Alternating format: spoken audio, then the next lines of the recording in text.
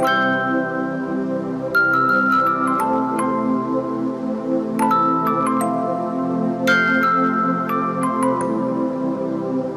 mừng quý vị và các bạn đã quay trở lại với bản tin dự báo thời tiết ngày hôm nay và ngày mai của chúng tôi. Thưa quý vị và các bạn, theo nhận định của các trung tâm dự báo khí tượng thị văn quốc tế kết hợp với sự quan sát các mô hình dự báo sớm của Mỹ GFF cho biết, hiện nay trên biển Đông khu vực Tây Thái Bình Dương xuất hiện một vùng áp thấp đang tiếp tục hoạt động mạnh.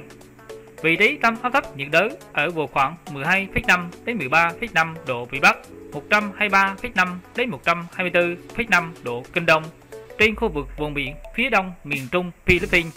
Sức gió mạnh nhất vùng gần tâm áp thấp nhiệt đới mạnh cấp 7, tức là từ 50 đến 60 km/h, giật cấp 9.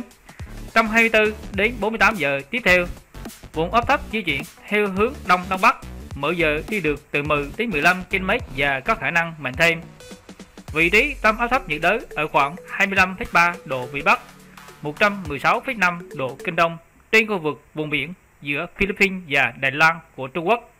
Sức gió mạnh nhất vùng gần tâm áp thấp nhiệt đới mạnh cấp 6, cấp 7, tức là từ 40 đến 60 km/h, giật cấp 9.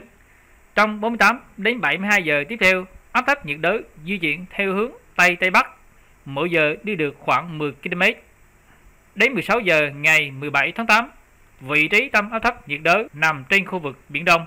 Tại đây, vị trí, cường độ và hướng di chuyển của áp thấp này chúng tôi sẽ tiếp tục cập nhật trong các bản tin sắp tới. Chúng tôi sẽ cố gắng phân tích để đưa ra những thông tin chính xác nhất gửi tới quý vị và các bạn.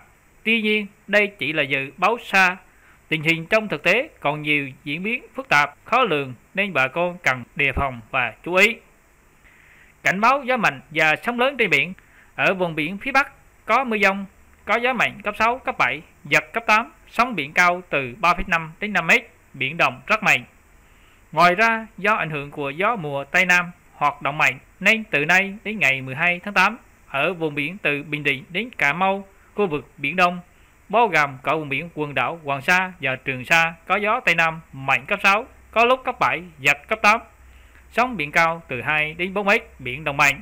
Cảnh báo cấp độ rủi ro thiên tai do gió mạnh trên biển là cấp 2. Thưa quý vị và các bạn, hiện nay do ảnh hưởng của hội tụ gió phát triển đến 5.000 mét hoạt động mạnh dần nên từ hôm nay đến ngày 11 tháng 8 ở Bắc Bộ có mưa rào và dông, cục bộ có mưa vừa, mưa to. Riêng vùng núi có mưa vừa, mưa to, có nơi mưa rất to, với lượng mưa từ 50 đến 80 mm trên 24 giờ. Có nơi trên 100 mm trên 24 giờ.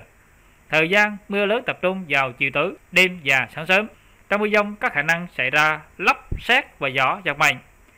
Đặc biệt cảnh báo trên các sông suối khu vực Bắc Bộ có khả năng xuất hiện một đợt lũ với biên độ lũ lên đến 1 đến 3 mét.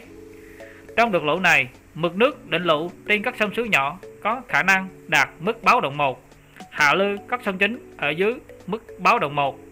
Nguy cơ xảy ra lũ quét, sạt lở đất tại các tỉnh vùng núi và ngập úng cục bộ tại các vùng trũng thấp ven sông đặc biệt là các tỉnh như Sơn La, Điện Biên, Lai Châu, Lào Cai, Yên Bái, Hà Giang, Tuyên Quang, Thái Nguyên, Bắc Cạn, Cao Bằng, Lạng Sơn. Tiếp theo là tiên nắng nóng gây gắt ở Trung Bộ. Thưa quý vị và các bạn, trưa nay ở khu vực Trung Bộ có nắng nóng gay gắt, có nơi đặc biệt gay gắt với nhiệt độ cao nhất ngày phổ biến từ 36 đến 39 độ, có nơi trên 40 độ độ ẩm thấp nhất ngày phổ biến từ 45 đến 65%. Dự báo do ảnh hưởng của rìa Nam rãnh áp thấp có trục từ 24 đến 27 độ vị Bắc kết hợp với gió Tây Nam gây hiệu ứng phơn. Nên ngày mai ở khu vực Trung Bộ tiếp tục có nắng nóng gay gắt, có nơi đặc biệt gay gắt với nhiệt độ cao nhất phổ biến từ 36 đến 39 độ, có nơi trên 40 độ.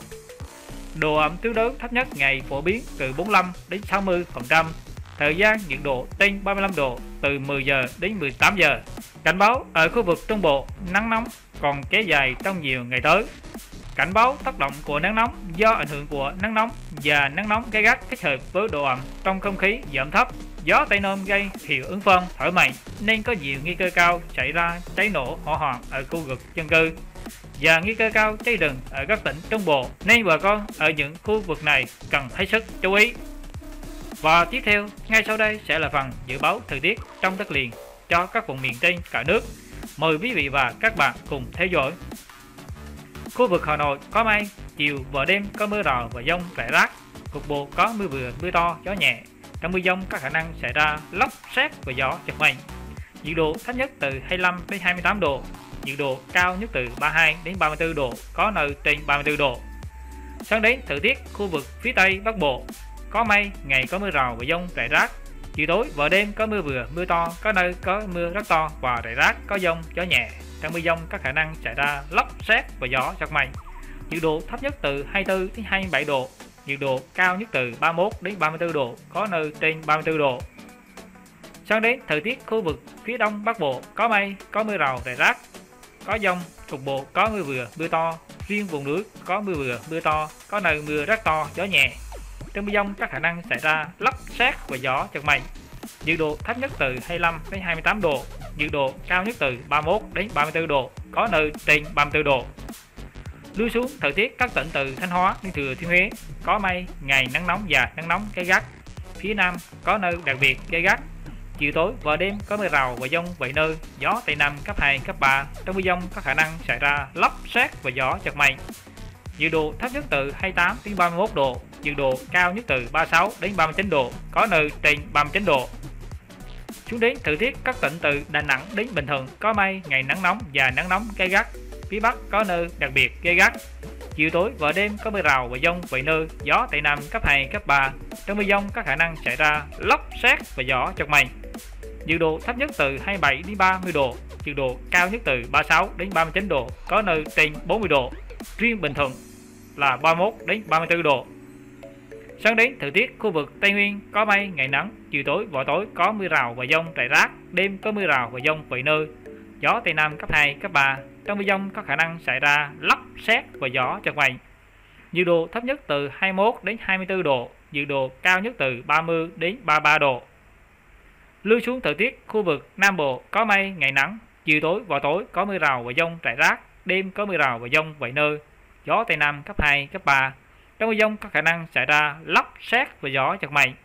Nhiệt độ thấp nhất từ 24 đến 27 độ, nhiệt độ cao nhất từ 31 đến 34 độ. Cuối bản tin dự báo thời tiết hôm nay là dự báo thời tiết cho các vùng biển trên cả nước. Vùng biển Bắc Vịnh Bắc Bộ có mưa rào rải rác và có nơi có dông, trong mưa dông các khả năng xảy ra lốc xoáy và gió giật mạnh. Tầm nhìn xa trên 10 km giảm xuống 4 đến 10 km trong mưa, gió đông nam đến nam cấp 3, cấp 4. Vùng biển Nam Vịnh Bắc Bộ có mưa rào và dông vài nơi, tầm nhìn xa thì 10 km, gió Tây Nam đến Nam cấp 4. Vùng biển từ Quảng Trị đến Quảng Ngãi không mưa, tầm nhìn xa thì 10 km, gió Tây Nam đến Nam cấp 4. Vùng biển từ Bình Định đến Ninh Thuận không mưa, tầm nhìn xa thì 10 km, gió Tây Nam đến Nam cấp 4, cấp 5. Vùng biển từ Bình Thuận đến Cà Mau có mưa rào và dông vài nơi. Tầm nhìn xa thì 10 km, gió Tây Nam cấp 5, có lúc cấp 6. Vùng biển từ Cà Mau đến Kiên Giang có mưa rào rải rác và có nơi có dông. Trong mưa dông có khả năng xảy ra lốc xoáy và gió giật mạnh. Tầm nhìn xa thì 10 km, giảm xuống 4 đến 10 km trong mưa, gió Tây đến Tây Nam cấp 4. Bắc Biển Đông có mưa rào và dông vài nơi. Tầm nhìn xa thì 10 km, gió Tây Nam đến Nam cấp 5. Quần đảo Hoàng Sa có mưa rào và dông vài nơi, Tầm nhìn xa thì 10 km, gió Tây Nam đến Nam cấp 5.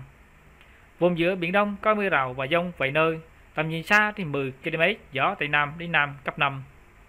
Vùng Nam Biển Đông có mưa rào và dông vài nơi, tầm nhìn xa thì 10 km, gió Tây Nam cấp 4, cấp 5. Quần đảo Trường Sa có mưa rào và dông vài nơi, tầm nhìn xa thì 10 km, gió Tây Nam cấp 4, cấp 5. Vịnh Thái Lan có mưa rào rải rác và các nơi có dông, trong mưa dông có khả năng xảy ra lốc xoáy và gió giật mạnh. Tầm nhìn xa thì 10 km, giảm xuống 4 đến 10 km trong mưa, gió Tây đến Tây Nam cấp 4. Bản tin dự báo thời tiết ngày hôm nay đến đây đã hết. Cảm ơn quý vị và các bạn đã dành thời gian theo dõi. Thân ái, chào tạm biệt và hẹn gặp lại quý vị và các bạn trong những bản tin tiếp theo.